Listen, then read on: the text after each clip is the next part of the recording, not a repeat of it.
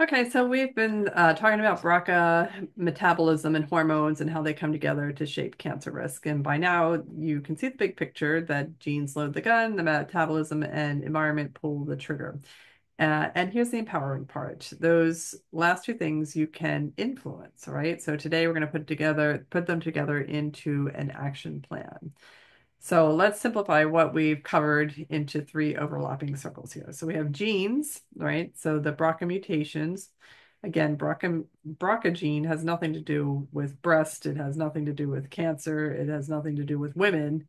It's a, a gene that does DNA repair, and it also is involved in metabolism. So a BRCA mutation, which can happen in men and women, um, it weakens DNA repair and it releases the brake on ACC, which then allows for ACC overactivity, which is now your metabolism circle. And that makes fat, blocks fat burning, and feeds cancer cell growth. And then your environment, um, you have endocrine disruptors and lifestyle exposures that hijack hormone receptors when these three overlap, that's where your greatest risk lies. But if we shift metabolism and clean up the environment, we can dramatically lower the danger, even if we can't change our genes. So how do we cool down that fat-making faucet, the uh, acetyl-CoA carboxylase, the ACC? Well, food choices for one, so you can cut back on refined sugars and carbs, right? And keep your, which those things keep insulin high. So you want to monitor your insulin levels.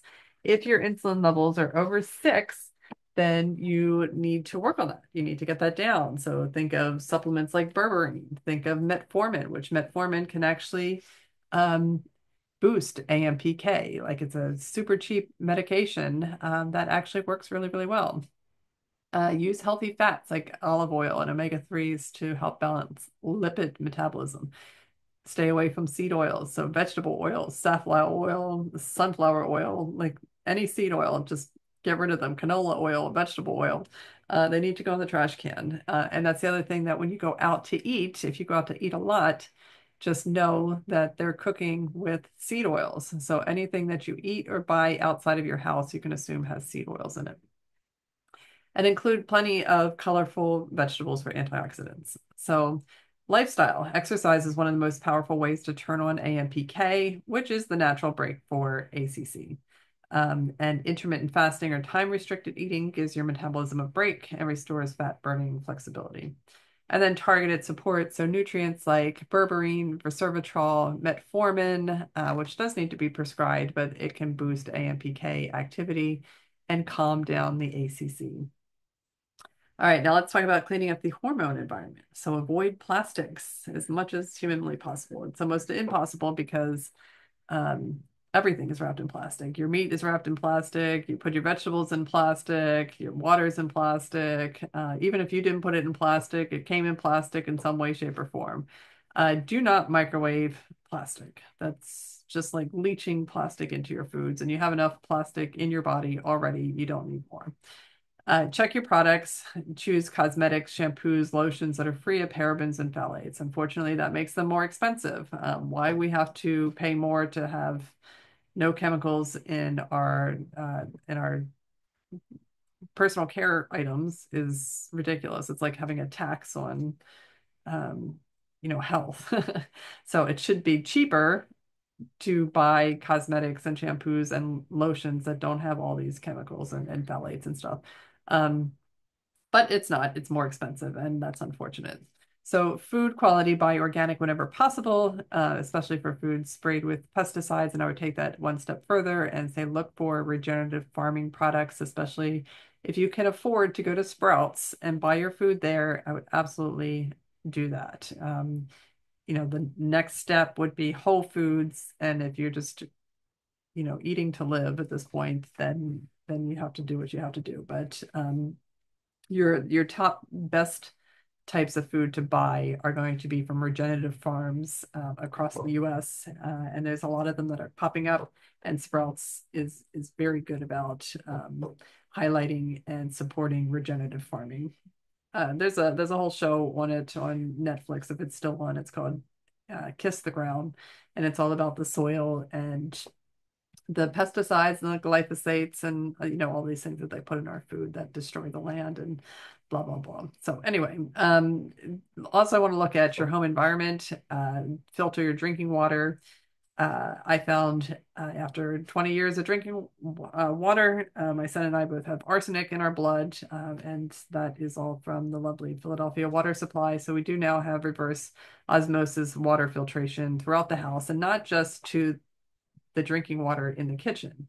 You have to remember that water coming into the house, um, when you take a shower, you're using that water, right? Like, and if you're if there's um, all different kinds of chemicals and and whatnot and arsenic in your water supply and you're taking a hot shower and you're opening up the pores in the skin and that's your largest organ that's another entry point. Okay, so even if you don't drink it, if you're just drinking filter water from Brita in your in your refrigerator, you have to think about all the times that you're showering as well. So those are exposures to um, a lot of chemicals.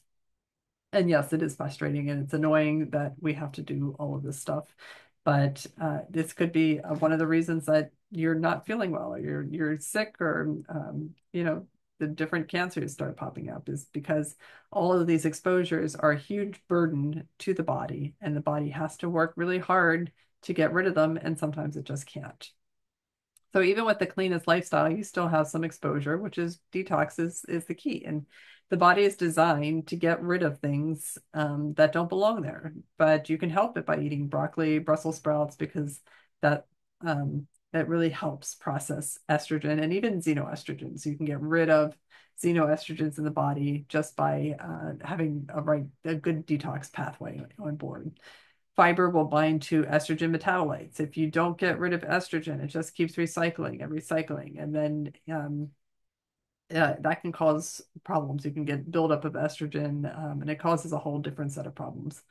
Glutathione support through foods like asparagus, avocados, or supplements that boost like phase two detox in the liver and just something as simple as hydration and sweating. So going to the gym, hanging out in the, the infrared sauna, just move toxins out of the skin and the kidneys.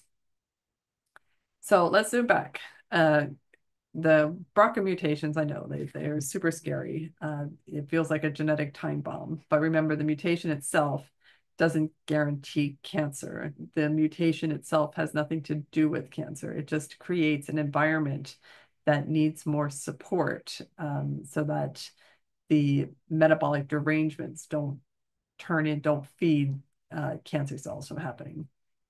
So whether you have a mutation or not, the same principles apply. You need to support your metabolism, reduce exposure, and strengthen detox. You can't change your DNA, but you can absolutely change the environment in which your DNA lives.